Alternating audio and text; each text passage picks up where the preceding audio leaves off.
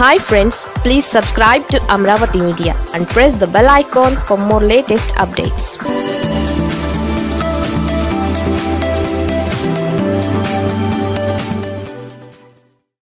ఓటర్ల జాబితా రెడీ చేసిన ఎన్నికల కమిషన్. మళ్ళీ మహిళా ఓటు బ్యాంక్ సూపర్ స్ట్రాంగ్.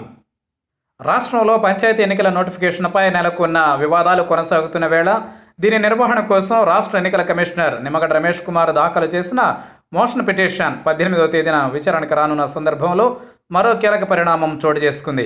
ఓటర్ల తుది జాబితా వెలువడింది. రాష్ట్రంలో ఉన్న మొత్తం ఓటర్లను గుర్తిస్తూ కేంద్ర ఎన్నికల కమిషన్ కార్యాలయం ఈ జాబితాను ప్రకటించింది. రాష్ట్ర ఎన్నికల ప్రధాన అధికారి కె. విజయానంద్ దీన్ని విడుదల చేశారు. ఈ జాబితా ప్రకారం రాష్ట్రంలో ఉన్న మొత్తం ఓటర్ల సంఖ్య నాలుగు కోట్ల నాలుగు లక్షల నలభై ఒక్క వేల మూడు వందల డెబ్బై ఎనిమిది. ఇందులో ఒక కోటి తొంభై తొమ్మిది లక్షల అరవై ఆరు వేల ఏడు వందల ముప్పై ఏడు పురుష ఓటర్లు ఉన్నారు. మహిళా ఓటర్ల సంఖ్య రెండు కోట్ల నాలుగు లక్షల డెబ్బై ఒక్క వేల ఐదు వందల ఆరుగా నమోదైంది.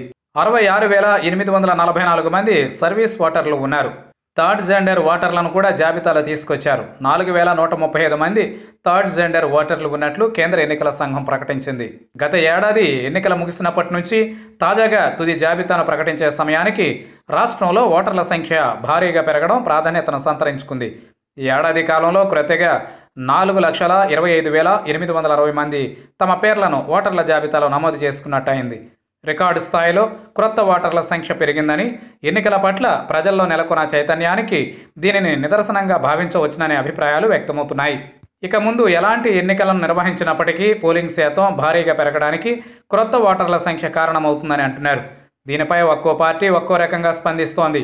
తాము అమలు చేస్తోన్న ప్రజా సంక్షేమ కార్యక్రమాలు పథకాల పట్ల ప్రజలు ఆకర్షితులవుతున్నారని పార్టీని గెలిపించడానికి ఓటర్ల జాబితాలో తమ పేర్లను నమోదు చేసుకున్నారని వైఎస్ఆర్ కాంగ్రెస్ పార్టీ నేతలు చెబుతూ ఉండగా తెలుగుదేశం ఇతర పక్షాలు దీనికి భిన్నమైన అభిప్రాయాన్ని వ్యక్తం చేస్తున్నాయి. ప్రభుత్వ వ్యతిరేకతకు ఇది నిదర్శనమని వ్యాఖ్యానిస్తున్నాయి.